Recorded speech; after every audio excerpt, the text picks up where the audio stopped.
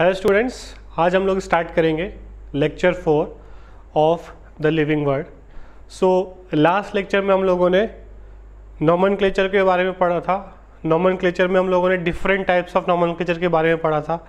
Polynomial trinomial और binomial ठीक है? जो नॉमन हम फॉलो करते हैं, अभी पूरी दुनिया जो फॉलो करती है, उसका नाम है बाइनोमियल नॉमन ठीक है? जो लीनियस ने दिया था, जिसमें हम लोग जीनस और स्पीशीज़ को रखते हैं। वो पूरी चीज़ हम लोग वहाँ पर डिस्कस कर चुके हैं। अब हम लोग इस लेक्चर में स्टार्ट करते हैं अबाउट टेक्सोनॉमिक कैटेगरीज। ये आपने पहले भी क्लासेस में पढ़ा होगा, है ना? आपने ये kingdom, phylum, class, order, family, genus, ये आपने पहले भी पढ़ा होगा, पहले भी सुना होगा। वही चीज़ को हम लोग थोड़ा सा रिवाइज करेंगे यहाँ पर, क्योंकि फ़र्स्ट चैप्टर है, बहुत बेसिक है तो बहुत सारी चीज़ें ऑलरेडी इसमें पुरानी क्लासेस की है, कुछ नया नहीं है, ठीक है? बट इसको हमें समझना है, इसमें से क्वेश्चन आते हैं। इस चैप्टर में से ऐसा नहीं है कि ईजी चैप्टर है तो क्वेश्चन नहीं आएँगे। दो तीन क्वेश्चन नीट में इस चैप्टर में से आएँगे। तो classification involve hierarchy of steps in which each step represented taxonomic category ठीक है? इसको हम बोलते हैं हेरारकी हेरारकी मतलब जैसे कि दादा दादा से आए, पापा पापा से आए, उनके बच्चे, आप लोग, ठीक है? इसको हम बोलते हैं हेरारकी ठीक है? तो ये एक हेरारकी है। जिसमें हर एक स्टेप को हम लोग एक रैंक बोलेंगे टेक्सोनॉमिक कैटेगरी बोलेंगे। All categories together constituted taxonomic hierarchy पूरे को मिलाकर हम बोलेंगे एक taxonomic hierarchy each category represent a unit of classification हर एक कैटेगरी एक यूनिट ऑफ़ क्लासिफिकेशन है। A group of organism occupying a particular category is called as taxon ठीक है? और एक ग्रुप ऑफ़ ऑर्गेनिज्म जो एक पर्टिकुलर कैटेगरी में है, उसे हम बोलेंगे एक टेक्सॉन जैसे कि मेमेलिया जितने भी मेमल्स है वो क्लास मेमेलिया में आ जाएगा। ठीक है? अब टेक्सोनॉमिक कैटेगरीज की बात करें अगर हम लोग, सबसे ऊपर आएगा हमारा किंगडम किंगडम के बाद फाइलम या डिवीज़न ठीक है? दोनों वर्ड यूज़ कर सकते हैं। उसके बाद क्लास फिर उसके बाद ऑर्डर उसके बाद फैमिली उसके बाद जीनस और सबसे नीचे आएगा स्पीशीज ठीक है? तो इस तरीके से हम किसी भी ऑर्गेनिज्म को क्लासीफाई करते हैं, ठीक है? टेक्सॉन में बात करें, जैसे एग्जांपल दे रहे हैं यहाँ पर। टेक्सॉन में किंगडम क्या हुआ? एनिमेलिया फाइलम एनिमल में फाइलम कौन सा? कॉर्डेटा क्लास है मेमेलिया ऑर्डर है प्राइमेटा फैमिली है होमिनिडे जीनस क्या है? होमो और स्पीशीज क्या है? सेपियंस तो ये ह्यूमन का क्लासिफिकेशन हो गया। ह्यूमन का स्पीशीज क्या है? सेपियंस ह्यूमन का जीनस क्या है? होमो ह्यूमन का फैमिली क्या है? होमिनिडे फैमिली ऑर्डर क्या है? प्राइमेटा कौन सी क्लास में आता है ह्यूमन मेमेलिया में. कौन से फाइलम या डिवीज़न में आता है? कॉडेटा कौन से किंगडम में? एनिमल किंगडम में या एनिमेलिया किंगडम में. ठीक है? तो ये एक एग्ज़ाम्पल हो गया जिसके थ्रू हम लोग ऐसे ही हम सारे ऑर्गेनिज्म को क्लासीफाई करते हैं. स्पीशीज क्या है? सबसे छोटा ठीक है? जैसे कि मान लो हमारा स्पीशीज़ है तो उसमें सेम सारे ह्यूमंस जो है, उसका एक स्पीशीज़ है। जैसे डॉग्स में आप देखोगे अलग अलग तरीके के डॉग मिलते हैं तो वो क्या है? अलग अलग स्पीशीज़ है। और डॉग क्या है? वो पूरा एक जीनस है। ठीक है? तो it is a group of closely related organism capable of interbreeding to produce fertile offspring ठीक है? क्लोजली रिलेटेड ऑर्गेनिज्म जैसे ह्यूमन सारे स्पीशीज़ है केपेबल ऑफ़ इंटरब्रीडिंग आपस में इंटरब्रीड कर सकते हैं to produce fertile offspring it is the lowest category species जो है वो सबसे लोएस्ट कैटेगरी है। जैसे यहाँ पर हम देखेंगे मैंगो का स्पीशीज क्या है? इंडिका पोटैटो का क्या है? ट्यूबेरोसम नाइट का निग्रम ये सारे नाम आपको याद करने हैं, ठीक है? तो ये आपके जीनस स्पीशीज बहुत सारे ऑर्गेनिज्म के यहाँ पर जो है बाइनोमियल नेम दिए हुए हैं साइंटिफिक नेम दिए हुए हैं। इसमें आप जीनस भी देख सकते हो और स्पीशीज भी देख सकते हो। अब आता है जीनस तो जीनस में क्या आएगा? बहुत सारे स्पीशीज मिलकर एक जीनस बनाते हैं। ठीक है? It is the aggregates of closely species जैसे कि आप देखोगे जीनस सोलेनम अब जीनस सोलेनम में क्या क्या आ रहा है? यहाँ पर अगर आप देखोगे जीनस सोलेनम में क्या क्या आ रहा है? जैसे पोटैटो ये भी सोलेनम में आता है। सोलेनम ट्यूबरोसम ट्यूबरोसम क्या स्पीशीज इसका स्पीशीज अलग है। इसका स्पीशीज अलग है बट ये दोनों एक ही जीनस में आते हैं। जीनस का नाम क्या है? Solanum Solanum tuberosum is potato Solanum lycopersicum is tomato Solanum melongena is brinjal, ठीक है? तो पोटैटो, टोमेटो और ब्रिंजल वो सेम जीनस में आते हैं, बट इनका स्पीशीज अलग अलग है। तो जीनस मतलब बहुत सारे स्पीशीज मिलकर एक जीनस बनाते हैं। जैसे यहाँ पर आप देखोगे, lion Panthera leo leopard Panthera pardus, tiger Panthera tiger. तो लायन लेपर्ड और टाइगर तीनों का जीनस क्या है? पेंथरा। बट स्पीशीज अलग अलग है। तो स्पीशीज सबसे कॉमन है, सबसे नीचे है और बहुत सारे स्पीशीज मिलकर जो है एक जीनस बनाते हैं। यहाँ पर फेलिस का दिया हुआ है। Genus Felis house cat Felis domesticus और जंगल कैट फेलिस कैओस ठीक है? तो ये दोनों एक ही जीनस में आते हैं बट इनके स्पीशीज अलग अलग है। अब जीनस के ऊपर हम जाएँगे तो फैमिली अब बहुत सारे जीनस मिलकर एक फैमिली में लाएँगे। ग्रुप ऑफ़ रिलेटेड जेनेरा जैसे कि फैमिली सोलेनेसी में जीनस सोलेनम भी आ गया जीनस पेटोनिया भी आ गया और जीनस थतूरा भी आ गया। तो ये सारे जो जीनस है, वो सोलेनेसी फैमिली में आ जाते हैं। उसी तरीके से फैमिली फेलिडे तो जिसमें जीनस पेंथरा भी आ गया और जीनस फेलिस भी आ गया। मतलब इसमें टाइगर लाइन भी आ गए और इसमें कैट भी आ गया। इससे पहले वाले में हम क्या देख रहे थे? जीनस में कि ये टाइगर लेपर्ड और टाइगर लाइन का जो है, जीनस अलग था, ये अलग ग्रुप में थे, दोनों का जीनस। बट ये दोनों जीनस मिलकर एक फैमिली बनाएँगे, फैमिली फैलिडे। ठीक है? उसके बाद बहुत सारी फैमिलीज़ मिलकर क्या बनाएँगी? ऑर्डर ठीक है? ऑर्डर पॉलीमोनियल्स में फैमिली कॉन्वलेसी फैमिली सोनोली बहुत सारे प्लांट्स आ गए इसमें, हज़ारों टाइप के। ऑर्डर कार्निवोरा जिसमें फैमिली फैलिडे भी आ गई और फैमिली कैनिडे भी आ गई। ठीक है? इसमें डॉग्स भी आ गए टाइगर भी आ गया कैट भी आ गया। ठीक है? ये हो गया ऑर्डर ऑर्डर से ऊपर जाएँगे तो बहुत सारे ऑर्डर मिलके क्या बनाएँगे? क्लास जैसे क्लास में डाइकोटेलेडिनी ऑर्डर पॉलीमिनल्स और ऑर्डर सेपिंडल्स क्लास मेमेलिया में ऑर्डर प्राइमेटा और कार्निवोरा ठीक है? मैन भी आ गया इसमें. ठीक है? और ये सारे जानवर भी आ गए.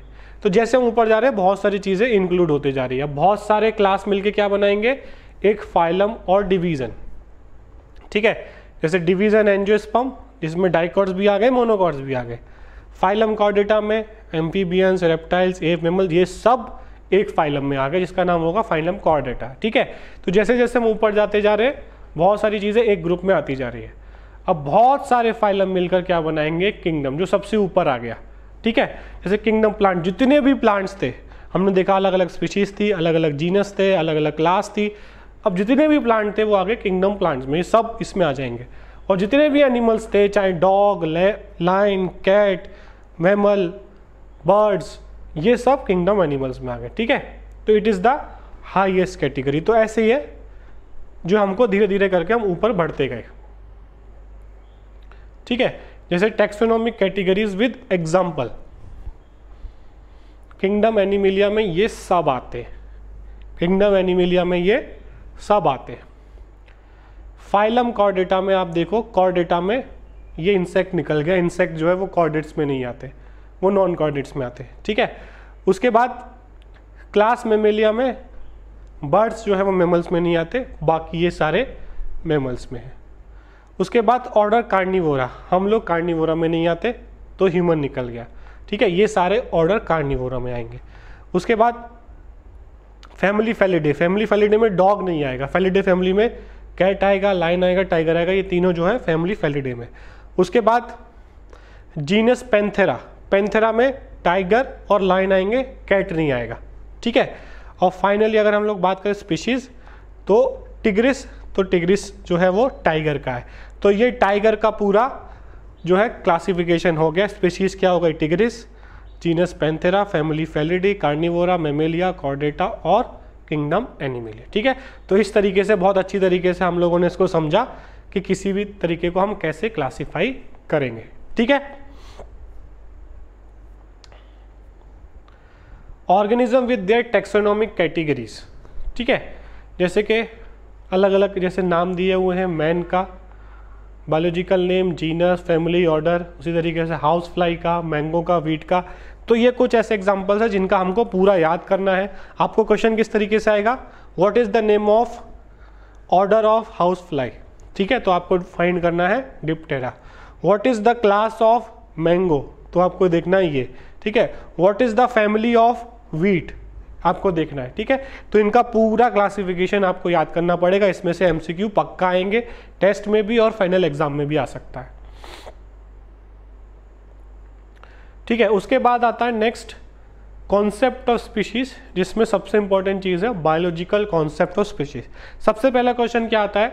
बायोलॉजिकल कॉन्सेप्ट ऑफ़ स्पीशीज किसने दिया? सबसे इजी क्वेश्चन आता है, बहुत बार पूछा गया है अर्नेस्ट मेयर ने दिया, ठीक है? Species is the fundamental unit of classification ये क्वेश्चन बहुत बार पूछा जाता है। फंडामेंटल यूनिट ऑफ़ क्लासिफिकेशन क्या है? Species species is a group of organism which are closely related structurally and functionally sharing a common gene pool gene pool मतलब सब जीन्स जो हैं वो उस स्पीशीज में जो है इकट्ठे हैं। जैसे ह्यूमंस में अगर मैं आई कलर की बात करूँ तो ब्लैक आई भी होती है ब्लू आइज़ भी होती है ब्राउन आइज़ भी होती तो वो पूरा एक जीन पूल है। एक ऑर्गेनिज्म में एक ही होगी। या तो ब्लैक होगी, ब्राउन होगी या ब्लू होगी। बट ह्यूमंस में होता है, ह्यूमन एक स्पीशीज है तो उसको हम बोलते हैं जीन पूल। ठीक है कौन कौन सी जीन्स आ सकती है? Which can interbreed freely and nature and produce fertile spring interbreeding हो सकती है ह्यूमन्स आपस में ब्रीड कर सकते हैं, और जो उनके बच्चे पैदा होंगे, वो फर्टाइल होंगे। मतलब वो और आगे चल के, आगे नेक्स्ट ऑफ़ पैदा कर सकते हैं natural environment this concept species is based upon reproductive isolation called biological concept इसको हम बोलते हैं बायोलॉजिकल कॉन्सेप्ट ऑफ़ स्पीशीज ये किसने बताया? अर्नेस्ट मेयर ने बताया। ठीक है? सम इंपॉर्टेंट इंटरस्पेसिफिक हाइब्रिड्स अब हाइब्रिड्स की बात करें हम लोग, दो तरह के हाइब्रिड्स हो सकते हैं स्टेराइल हाइब्रिड्स और फर्टाइल हाइब्रिड स्टेराइल मतलब होता है जो बच्चे पैदा नहीं कर सकता ऑफ़ स्प्रिंग प्रोड्यूस नहीं कर सकता। वो तो बन गया हाइब्रिड करके हमने बना दिया। उसके बच्चे नहीं हो सकते। जैसे म्यूल, आपने सुना होगा।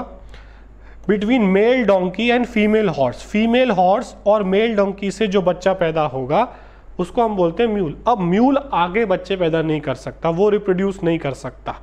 तो वो स्टेराइल है। उसी तरीके से hinny.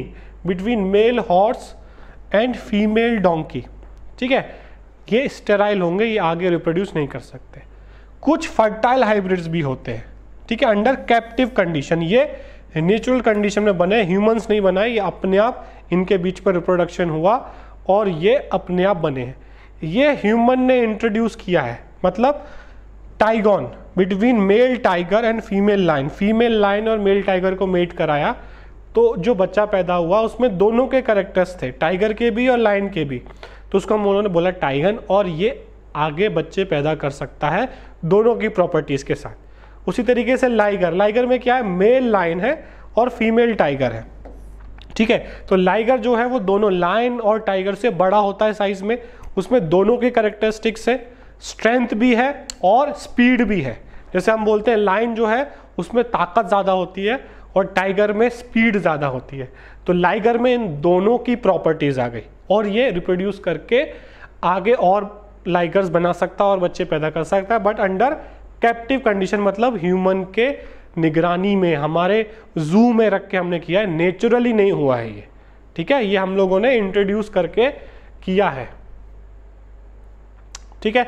उसके बाद टाइप्स ऑफ़ स्पीशीज स्पीशीज जो है बहुत अलग अलग टाइप के हो सकते हैं, जिसमें से मैं आपको बता देता हूँ सबसे, जैसे फ़र्स्ट है morpho species species erected on the basis of morphological character morphological character क्या होते हैं? जो हम लोग देखते हैं। जो हमको दिखाई दे जाता है, उसको हम बोलते हैं मॉर्फोलॉजी कि भाई देखो, इसके कान लंबे हैं, इसकी पूछ लंबी है, इसके पैर लंबे हैं, पैर छोटे हैं। दीज आर मॉर्फोलॉजिकल करेक्टर्स ठीक है? जो उसकी बॉडी के अंदर है, जो हम नहीं देख सकते, उनको हम बोलते हैं एनाटॉमिकल करेक्टर्स कि इसके इसके अंदर लिवर है या नहीं है? इसके अंदर दो किडनी है, इसके अंदर चार किडनी है, इसके अंदर एक हार्ट है, दो हार्ट है, चार स्टमक है, एक स्टमक है, ये एनाटॉमिकल है, जो हम देख नहीं सकते बाहर से। जो हम बाहर से देख सकते हैं दिज आर मॉर्फोलॉजिकल करेक्टर्स ठीक है तो बहुत सारे दिए हुए, इनको आपको याद करना है इसमें कोई लॉजिक नहीं लगेगा भाई। ठीक है तो इसमें सबसे इंपॉर्टेंट क्या है? एलोपैट्रिक स्पीसीज बहुत बार पूछा जाता है। Species having exclusive area of geographical distribution में एक पर्टिकुलर एरिया में मिलते हैं। और ये भी पूछा जाता है सिंपेटिक स्पीसीज क्या species having overlapping area of geographical distribution मतलब एलोपैट्रिक स्पीशीज मतलब एक इधर रहेगा, एक इधर रहेगा। दोनों का सेपरेट एरिया है। सिंपेट्रिक मतलब दोनों का एक ओवरलैपिंग एरिया इस एरिया में वो भी मिलता है, ये भी मिलता है ओवरलैपिंग एरिया है। ठीक है? पैरापेट्रिक क्या है? Species with adjacent geographical ranges meeting in very narrow zone ठीक है?